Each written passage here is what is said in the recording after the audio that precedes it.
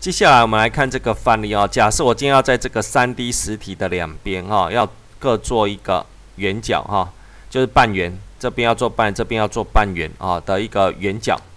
那要怎么做比较快？因为假设我不知道这个宽度是多少啊，要怎么做哈？这边你可以利用导圆角。好，先点选这个面，然后呢，Ctrl 键按住，再点这个面，然后呢，Ctrl 键放掉，再点选这个面。好，那这样子，这个全圆角就完成哈。我再做一次哦，导圆角，先点它，Ctrl 键压住，再点这个面，然后放掉 Ctrl 键，再点这个面，好，这样就完成。啊，那这个是一个全圆角的一个做法。好，我们来看下一个范例。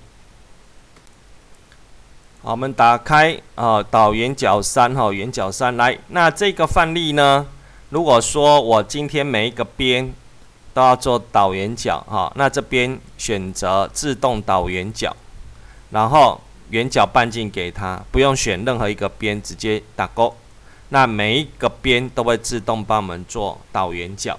好，那我们把它还原回来哈。那假设我今天某几个边要的话。好，那你也可以用自动导圆角啊来，然后这边我们刚才是用的几何实体。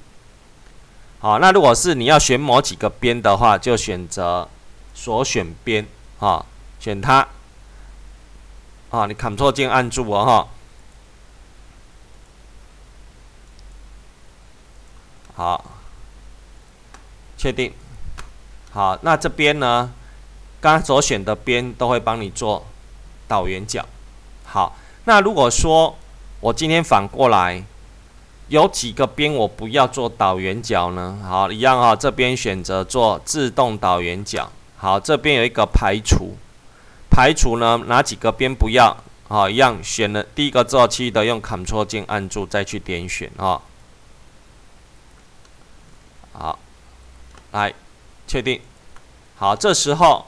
刚所选的边就不会做导圆角，其余的都会帮你做导圆角啊，所以这边就是自动导圆角的一个用法。